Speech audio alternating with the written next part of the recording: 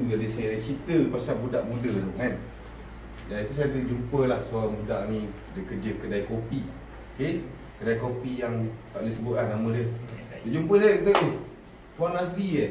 Saya minat lah nak berniaga Saya minat nak usahawan tak okay Saya cakap dia tak payahlah Saya cakap lah tadi tak payah dah, dah ada kerja.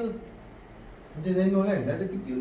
Tak payahlah apa lagi nak ni berniaga Saya nak berniaga lah dia datang, tak apa nak ni bagi nombor datang interview dengan Acap. Kan? So bila interview, Acap bagi tahu oh, tak ada gaji basic. Kan? Tak ada gaji basic, tak ada apa, tak ada jaminan. Terus tak datang. Faham tak? Dan maksudnya daripada situ dia filter dah. Dia ni memang tak berani. Kan? Dia tak berani nak ambil. Sebab dia muda ni umur 18. Kan? 18 gaji mesti dia kata 1100 kot. Kan? So dia tak berani. So daripada situ lah kita dah tahu dah filter dah macam saya cakap guys.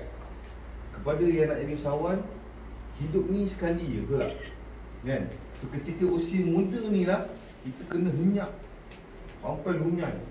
Jarang beri kenduri Orang cerita, eh anak ni dah kahwin Bagi mampu sama dia, betul tak? Kan, maksudnya itulah bukanlah cakap Mampu apa punya bos kan?